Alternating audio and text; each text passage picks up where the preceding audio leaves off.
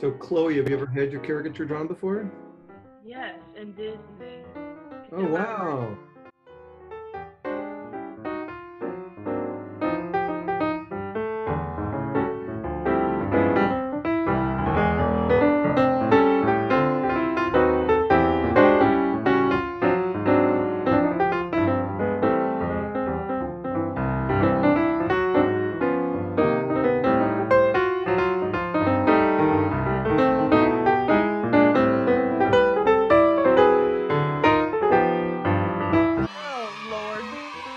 This is better than kayaking that one time.